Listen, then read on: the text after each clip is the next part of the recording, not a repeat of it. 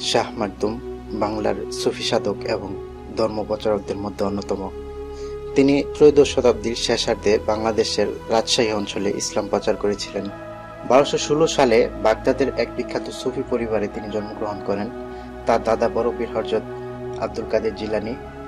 আব্দুল কাদের জিলানির মৃত্যুর প্রায় চুয়ান্ন বছর পর শাহ মাকদুমের জন্ম হয়। তার পিতার নাম সাইয়েদ আজাল্লা শাহ। তিনি অনেক জ্ঞানী এবং ধর্ম বিশারদ সুফি ছিলেন। আমরা সকলেই জানি তারা প্রিয় নবীজির বংশধর ছিলেন। আমরা এখন প্রবেশ করলাম শাহ মাকদুমের মাজারে। শাহ মাকদুম রাজশাহী অঞ্চলে প্রায় চুয়াল্লিশ বছর অবস্থান করেন।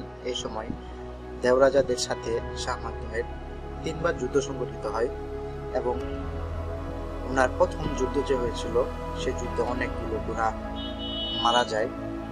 দুই পক্ষে অনেক ঘোড়া মারা যায় যার কারণে ওই অঞ্চলটির নাম এখন ঘোড়ামারা অঞ্চল রাখা হয়েছে।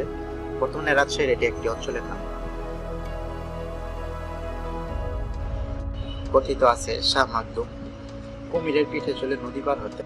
বর্তমানে শাহ মাকদুমের কবরের পাশে এই এই কবরটি হচ্ছে সেই কুমিরের কবির কবর। কুমিরকে এখানে সমাহিত করা হয়। সেই কুমিরটির কবরই এটি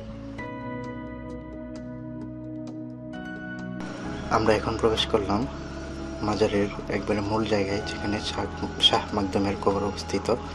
এটি হচ্ছে শাহ মাকদুমের কবর। শাহ মাকদুমের নামে রাজশাহী মহানগরীতে একটি থানার নামকরণ করা হয়েছে। রাজশাহী বিশ্ববিদ্যালয়ের ছাত্রদের জন্য একটি হল আছে তার নামে। রাজশাহী বিমানবন্দরের নাম শাহ মাকদুম বিমানবন্দর রাখা হয়েছে। এছাড়াও তার নাম, তার নামে শহরে মেডিকেল কলেজ ও একটি উচ্চ বিদ্যালয় রাজশাহী সহ আশেপাশের এলাকায় বহু দোকান, যানবাহন, শপিং মল, রাস্তা, ভবন ইত্যাদি নাম শাহ মাকদুমের নামে রাখা হয়।